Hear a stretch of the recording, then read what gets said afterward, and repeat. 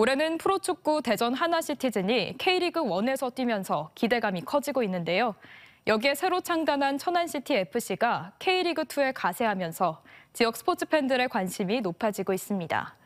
TJB는 오늘부터 네 차례에 걸쳐 도약을 꿈꾸는 지역 프로축구 구단들의 준비 상황을 점검합니다. 첫 순서로 지난 시즌 확실한 중앙 공격수가 부재하고 측면 수비가 약하다는 평가를 받았던 대전 하나시티즌이 변신에 성공할 수 있을지를 이수복 기자가 태국 현지에서 전해드립니다.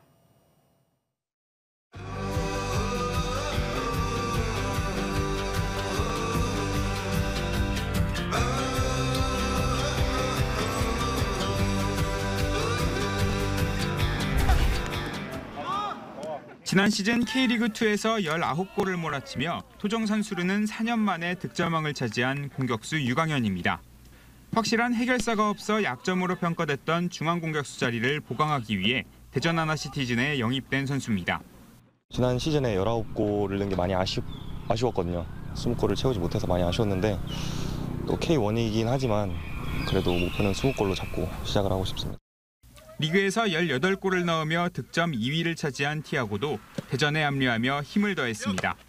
190cm의 큰 키를 가진 티아고는 세트피스에서의 장점이 기대됩니다.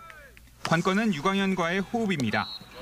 Eu estava até brincando com ele, né, que, que agora a gente não precisa mais de competição, a gente precisa se ajudar para que as coisas possam acontecer dentro de campo e que a gente possa marcar o maior número de gols. 중앙 수비수 권한진과 마트레이드로 영입한 국가대표 출신 풀백 오재석도 일부 리그 안착을 위한 키로 평가됩니다. 2012 런던 올림픽 동메달, 성인 대표팀과 일본 제1리그 등 풍부한 경험들이 선수들에게 좋은 영향을 미칠 수 있다는 판단입니다. 선수 생활, 프로 생활이 벌써 한 14년 차 정도 됐는데 이렇게 한 팀에서 오퍼를 세 번째 받은 건 처음이어가지고 못다한 인연을 이제 맺고자 선택하게 되었습니다. 중앙 수비의 빈자리는 울산에서 데려온 U20 월드컵 준우승의 주역 김현우로 메꾼다는 계획입니다. 제 장점이 항상 빌드업과 그리고 수비수 치고 좀 빠른 발이라 생각했기 때문에 또, 좀 감독님 원하는 그런 역할을 잘 수행하려고 생각하고 있어요.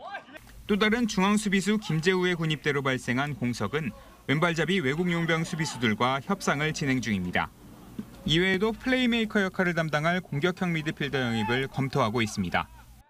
K리그2 득점 1, 2위와 국가대표 출신 수비수 등 공수 모두 전력 강화에 성공한 대전 하나시티즌이 일부 리그의 판도를 흔들 수 있을지 주목됩니다. 태국 촌부리에서 TJB 이수복입니다.